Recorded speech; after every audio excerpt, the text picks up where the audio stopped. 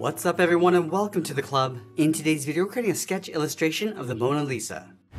So I've had a lot of requests from many of you on how I would approach a portrait illustration of the Mona Lisa. Not gonna lie, this is gonna be one of the trickiest tutorials because the slightest change in proportions can affect the expressions. So we'll begin like any other tutorial. We're gonna start with some guidelines. Let's start in the center of our page with a straight line. Start from the very top. Just gonna bring that all the way down towards the bottom. Now along the top, we're gonna draw a straight line going across from left to right. Now I'm going to use these two lines to help us create a circle along the top of our page. Now this is going to help define the size of the head. So from the center, let's step up towards the top. Just going to mark that off. Let's take that same distance from the center down towards the bottom and do the same thing. Let's repeat that across this horizontal line. So measuring that distance towards the center on the left and right side. Now we want to connect the center point of each mark with a curve to create our circle. So this will sort of be the top of the head going around and just pull that back up. And the circle doesn't have to be perfect, we just want to get the right size and placement along the top of our page. Now I want to add another guideline coming down the side of our circle. So we'll start with the left, coming all the way down, and do the same thing on the right. Now from here, what I'm going to start to do is block in the basic facial features and get the positioning and proportions. Now the head's turned slightly towards the left, so I'm going to move that center line over towards the left side. So I'm just going to move over to right about here, Mark that off. Let's go straight up towards the top of our circle and then bring that all the way down towards the bottom. Now with this being the center of the face, we're going to draw the edge of the nose. So from here, step out, angle this down and then in towards that center line, and then come straight down towards the bottom of our circle. Now this is going to be the top edge of the brow. So on the left side, I'm just going to angle this down slightly toward the left go to the right side, angle this down towards the right, all the way out towards the side of our circle. Now the eyes are going to sit just underneath the brow from these two points. So let's start with the left. I'm just going to bend this up and come down towards the side. Now on the right side, I'm going to step over, going up and then down. Let's block in the bottom of the eyelid, coming down on the left and then up on the inside do the same thing on the right. Now we'll come back and readjust the positions later on. Now the Mona Lisa is staring over towards the right side. So we're going to start in the center of the eyelid, draw a circle, coming around. I'm just going to lightly block this in. Just pull that up on the inside. Go to the center of the right eyelid, do the same thing. Come down and then up.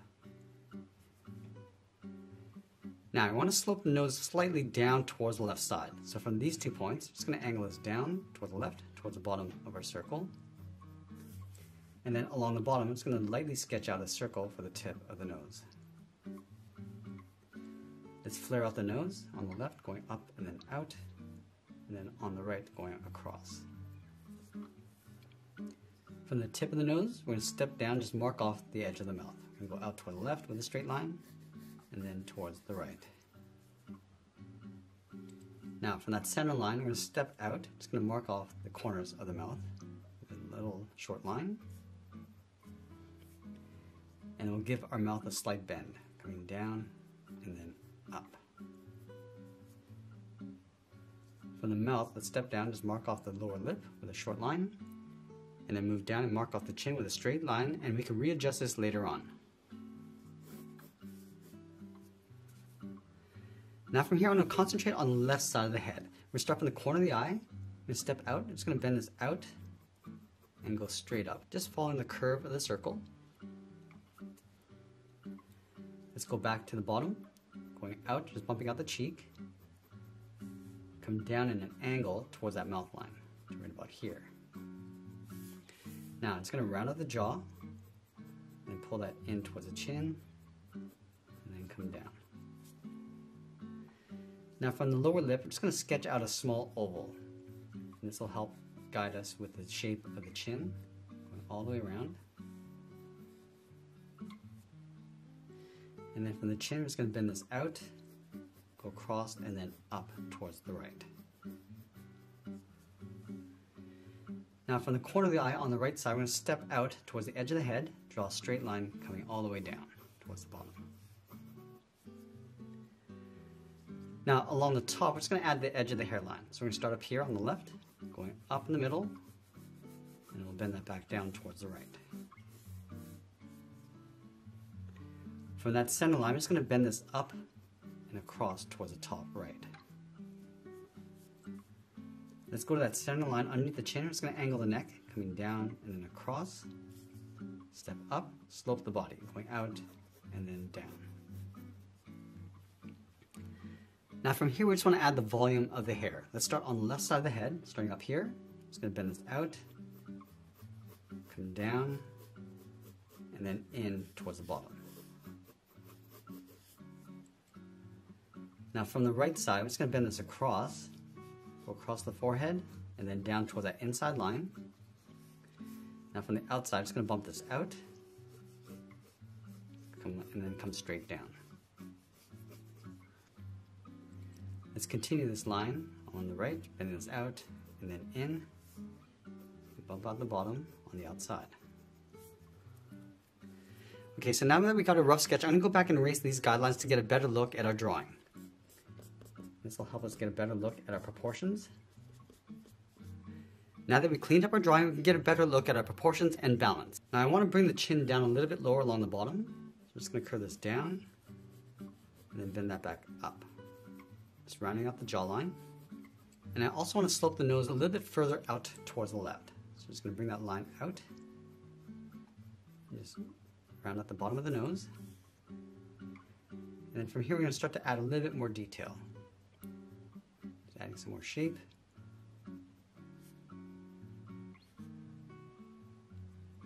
Now I'm going to go in and just add the upper lip. Just being very subtle with the details.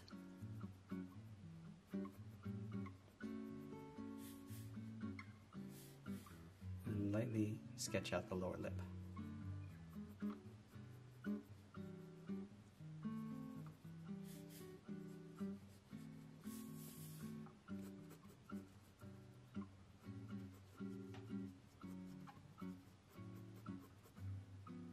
I'm going to go up and just add some more shape to the brow. Just going to round this out, going around the eye. Now this will be more like a shadow line,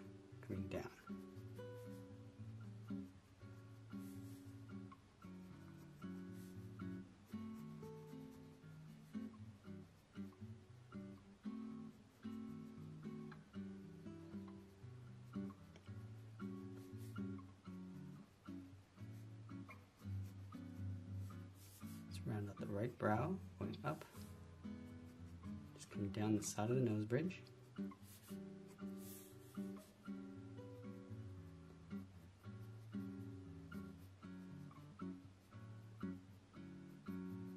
I'm going to raise the lower eyelid up a little bit higher. We'll add that fold.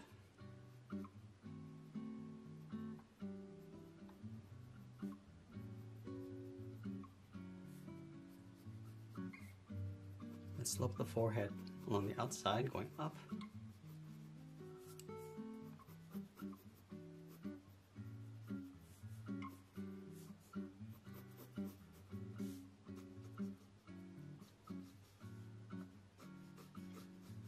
I'm just going to add a little bit more shape to the outside of the hair.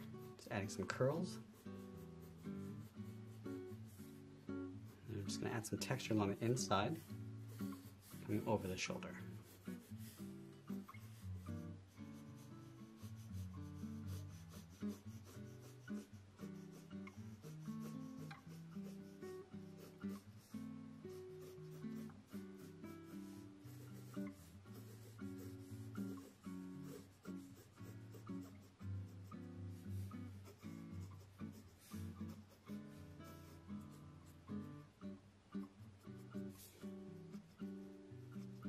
Now we're going to go back and just clean up our drawing before we go into any further detail and shading.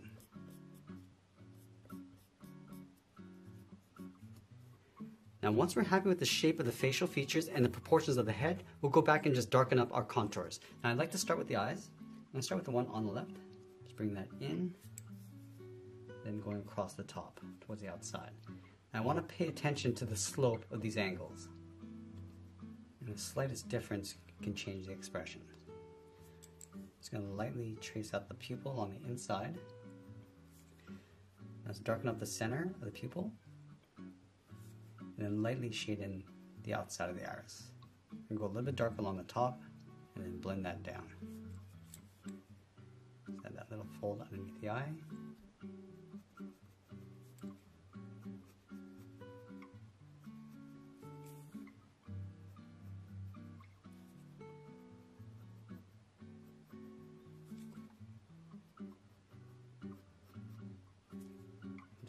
Way across the nose bridge and just fade that down. Now with this character, it's important to look at the distance between the bridge of the nose and the inside corner of the eye.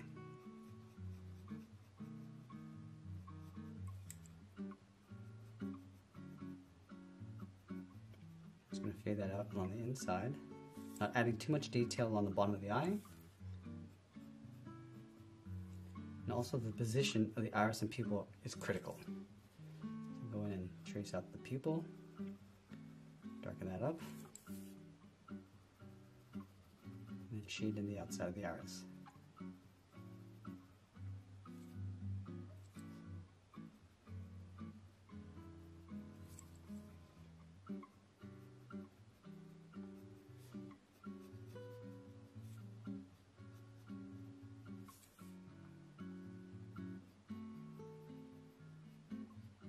Now once in a while, I like to step back and just take a look at our proportions, make sure that everything's correct before I commit to more lines.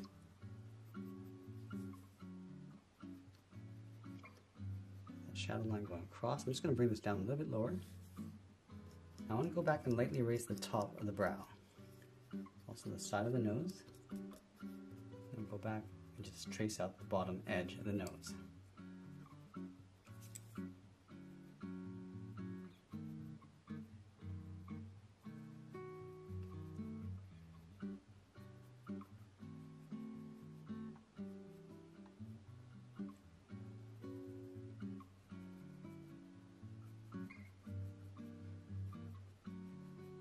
Corner of the mouth is pretty critical here. I don't want to go too high.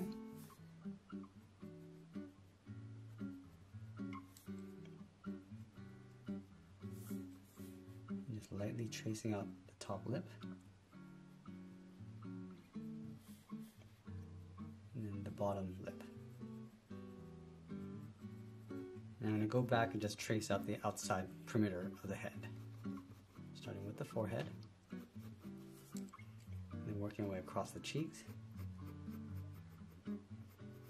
The cheek has a slight bend that comes in, sort of aiming towards the corner of the mouth.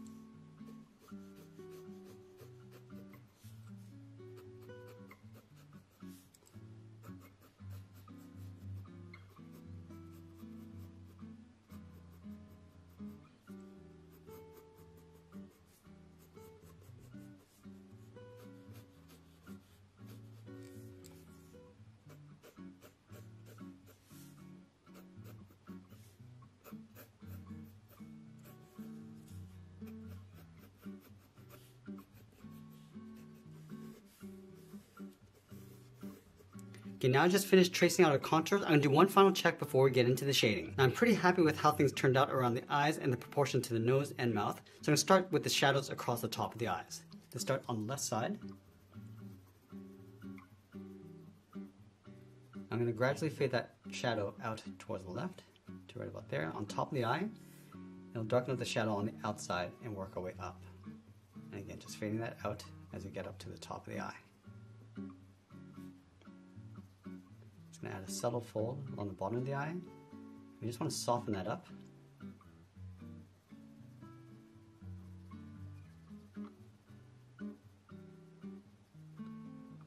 You see that I'm using the side edge of my pencil to add our shading. We'll just blend that down. And do the same thing on the right. So the darkest shadow is going to be along the inside of the eye. go up to the top and we'll just blend that out.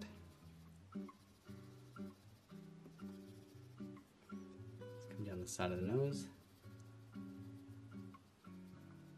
And again, just fading that out across the bottom.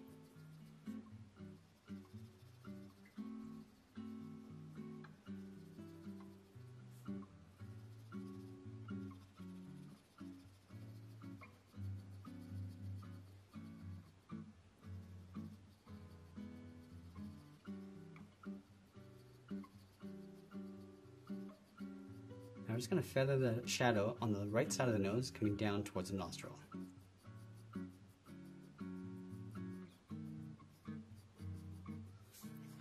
we'll add that shadow across the bottom of the nose.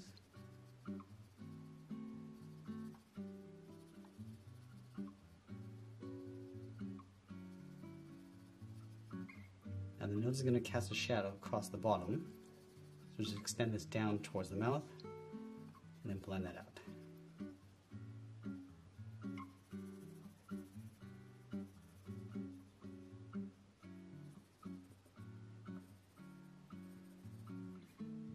Just going to lightly shade the lips along the side and go a little bit darker on the right and then fade that in.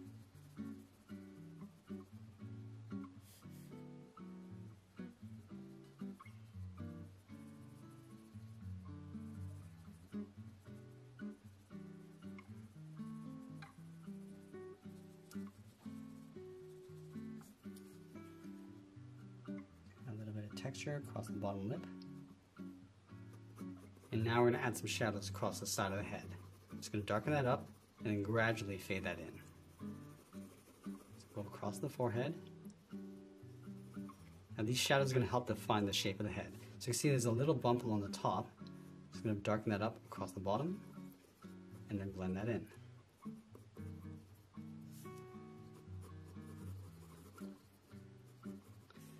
We're also going to add that shadow across the cheeks. So going a little bit darker and fade that up.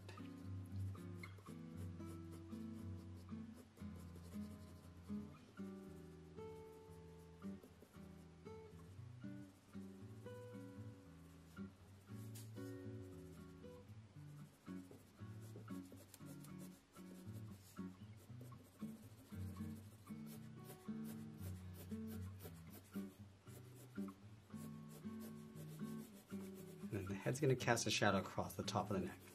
Just going to darken this up. want to bring a little bit of shadow across the middle. Just darken that up and then fade that out towards the side.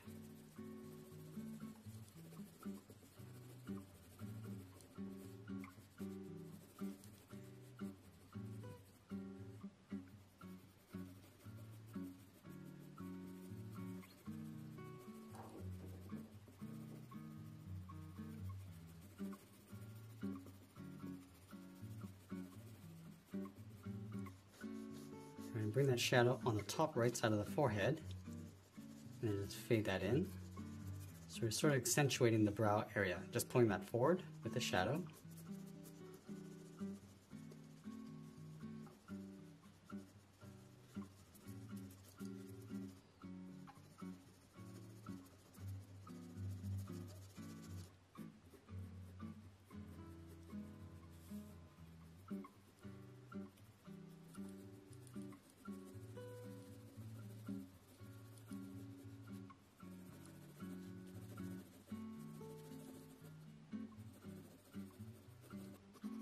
I'm just going to darken up the hair on the left side, going around the face. And from the neck, I'm just going to extend that shadow going out.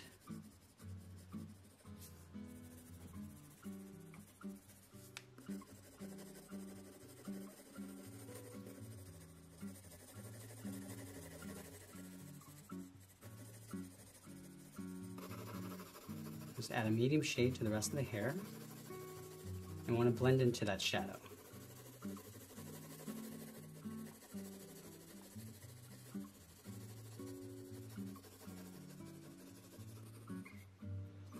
Now across the top of the head, we're just going to pull that shadow going in towards that part.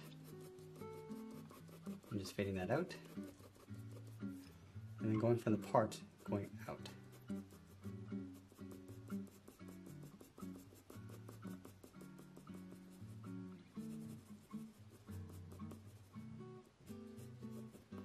Same thing on the right, starting from the part. I want to leave a little gap in the center, go out and then down towards the right.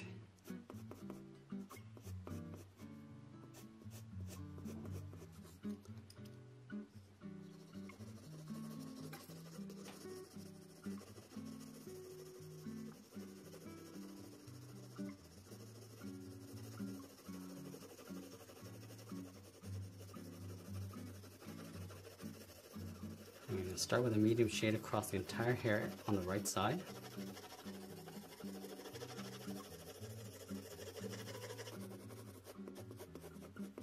Go back and just darken that up.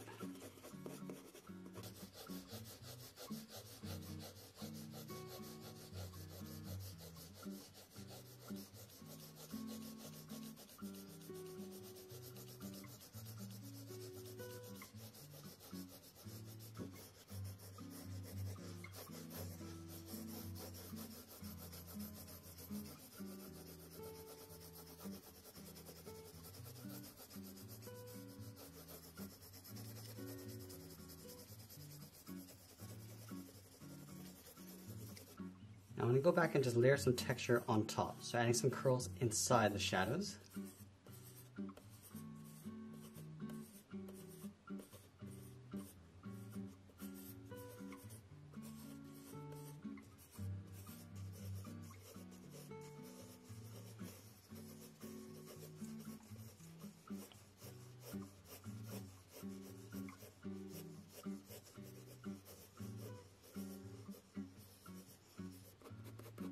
Back and use our shadows to help readjust the proportions and detail. Also adding a little bit more contrast.